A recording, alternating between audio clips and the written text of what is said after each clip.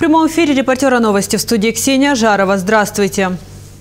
В облуправлении государственной службы по чрезвычайным ситуациям обыски. Их проводят следователи Госбюро расследований. Эту информацию подтвердили в ГСЧС, объяснив это тем, что такие действия проводятся после каждого ЧП с человеческими жертвами. В здании областного управления ГСЧС проходили обыски. Следователи изымали материалы проверок сгоревшего колледжа на Троицкой за 2014 год. Как нам сообщили в пресс-службе, проверки были на шестом этаже. По трагедии на Троицкой, которая унесла 16 человеческих жизней, открыли еще одно уголовное производство. Речь идет о халатности работников ГСЧС, которые должны были проверять соблюдение правил пожарной безопасности в доме Асвадурова. Правоохоронцями Одещини відкрито кримінальне провадження за частиною 2 статті 367 Кримінального кодексу України по співробітникам Державної служби надзвичайних ситуацій в Одеській області. Про підозру наразі поки що нікому не повідомлялось. Досудове розслідування за даним кримінальним провадженням здійснюють співробітники територіального управління Державного бюро розслідувань у Миколаєві. Наразі досудове слідство триває. На фоне трагедии в экономическом колледже о нарушении норм безопасности вновь заговорили в вузах. Студенты педуниверситета имени Ушинского жалуются на подгоревшую проводку, отсутствие пожарной сигнализации, решетки на окнах и закрытые аварийные выходы. Руководство вуза заверяет журналистов, что студенты проблемы преувеличивают. Как на самом деле обстоят дела с пожарной безопасностью в университете, выясняла Светлана Довжук. Корпус университета имени Ушинского находится в здании, которое построили в начале прошлого века. Ранее там располагалось артиллерийское училище. В здании мало что изменилось до наших дней. Родители и студенты обеспокоены ветхой проводкой и отсутствием пожарной сигнализации. То, что сигнализации нет, это однозначно. То, что все провода висят, и даже есть такие, как бы, э, где собираются коробки вот всех электро этих проводов, то они даже в таком состоянии, ну, мягко говоря, печальном. То есть Некоторые проводки даже видно, что они подгоренные. Э, вот у меня есть как бы фотографии, э, ребята как бы снимали. Вот смотрите, вот в таком э, состоянии находится как бы проводка. Вот, то есть явно видно признаки, что она была когда-то как бы подгоренная. Огнетушителей точно так же у нас не было, только после трагедии как бы огнетушители только завезли. Показали им только после трагедии, где находится запасной выход. Студенты рассказывают, после того, как кадры с подгоревшей проводкой появились в сети, руководство университета ее просто закрасило, чтобы копоть не так бросалась в глаза. Насчет проводки мы спрашивали преподавателя тоже, когда ее меняли, он сказал в 1900 каком-то там году. То есть это было еще э, вот как раз послевоенное время. Когда наша староста подошла и спросила у деканата, и другие старосты тоже поднимали этот вопрос, он говорил, ну, э, лучше, чем где-то там. Но на самом деле, вот родители нас с детства учат, лучше, э, ну, я же учусь лучше, чем кто-то, а почему ты смотришь на тех, у кого плохо? Точно так же и наш декан. Почему он смотрит на тех, у кого плохо, а не тех, у кого хорошо? С аварийными выходами и планами эвакуации все тоже печально, говорят студенты. После трагедии на Троицкой они обращались с просьбой спилить решетки на первых этажах или хотя бы установить внутренние замки, которые в случае пожара можно будет сразу открыть. У нас есть выход, который находится возле туалета. Он закрыт э, на защелку и закрыт на ключ. Единственный ключ находится у охранника. Э, вот. Больше ключей запасных нету. Э, Второй выход был открыт только потому, что там выходят люди курить, вот, но э, ну, они как бы тоже закрыты. Огнетушитель, ну, когда я задала вопрос по поводу огнетушителей, э, сказали, что может быть есть э, какой-то один там на все здание. Также мы находимся на первом этаже, у нас, ну, у нас решетки на окнах. И мы попросили, чтобы сделали как бы такие решетки, которые можно было бы тоже закрывать на ключ, либо же их бы просто сняли. На это нам сказали, что э, боятся того, что могут как бы ограбить. Э, вот. И, э, насколько я поняла, решетки сниматься не планируют. Руководство университета утверждает, что студенты находятся в полной безопасности. Аварийные выходы всегда открыты, огнетушители есть.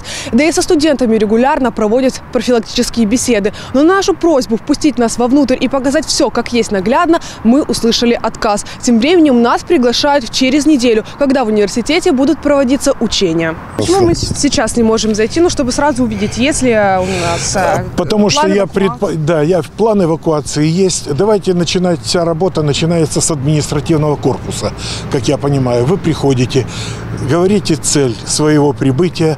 Мы на месте смотрим э, бумаги, получаем разрешение на осмотр интересующих вас объектов и начинаем обход. А не делается это спонтанно с улицы, с наскока.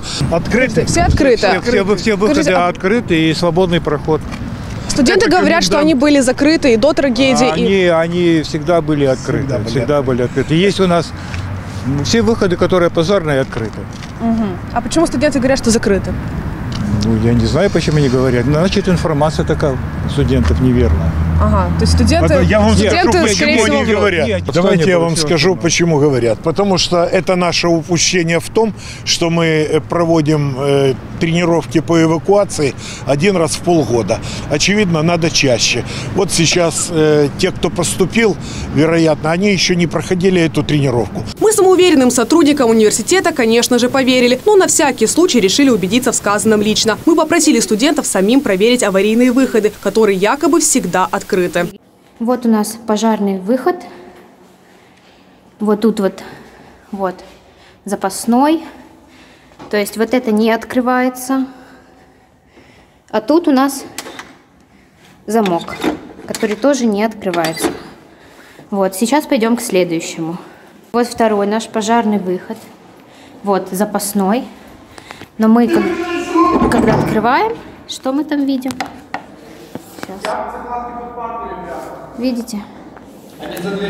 И напоследок студенты показали, как отапливается университет. Температура внутри примерно 16 градусов. На парах комфортно лишь в куртках и шапках. Родителям студентов даже приходится покупать одеяло. Когда будут морозы, дети тоже будут э, сидеть в одеялах. Э, в принципе, они сидят и сейчас в одеялах, э, просто закутанные как бы ноги у них. Мы одеяло закупили им, скидывали с деньгами, и как бы одно одеяло на два человека, вот так вот они попарно сидят за стульями. Через неделю нас пригласили на проверку противопожарной безопасности и учебную тревогу. Видимо, к тому времени планируют устранить все проблемы. Впрочем, скрыть их, как показывает опыт, тоже весьма несложно. Светлана Давжук, Константин Нищерет, телеканал «Репортер». Закончил спор кулаками. В Беляевке мужчина до смерти забил свою жену. По данным полиции, пара возвращалась от своих знакомых. По дороге домой между подвыпившими супругами возник конфликт, который перерос в драку. Когда женщина потеряла сознание, подозреваемый отнес ее домой, а сам ушел по делам. Вернувшись, он обнаружил женщину мертвой и сообщил об этом родственникам. 37-летнего мужчину задержала полиция. Ему грозит от 7 до 10 лет заключения. До поліції надійшло повідомлення від жительки села Граданиці про те, що її родичка виявлена без ознак життя. На теперішній час зловмиснику повідомлено про підозру за статтею 121 частиною 2 Кримінального кодексу України. Тривають слідчі дії. Еще одно убийство, только уже ради денег. В Приморском районе парень решил обокрасть своего знакомого пенсионера. Поздно вечером он проник в дом старика, но хозяин услышал посторонний шум и начал звать на помощь. Чтобы 85-летний мужчина угомонился, парень избил его до смерти. Мужчина не нашел в доме пенсионера ни денег, ни других ценных вещей и убежал. Я испугался, что товарищ меня узнает и начал кулаками бить в лицо. Он начал отключаться, и я быстро убежал оттуда. Испугался и убежал. Потерпевшего обнаружила соседка, которая пришла к нему в гости. Женщина сразу же позвонила в полицию. Оперативники задержали молодого парня. Фігуранту вже повідомлено про підозру у скоєнні злочину, передбачено частиною 2 статті 115 Кримінального кодексу України. На час досудового розслідування його взято під варту. Новые тарифы на отопление для одесситов будут ниже, чем ожидалось. Отопление одного квадратного метра площади ежемесячно будет обходиться примерно в 51 гривну. Согласно проекту решения нацкомиссии по коммунальным услугам, тарифы для населения в следующем году вырастут на 32%. С 1229 гривен за гигакалорию до 1628.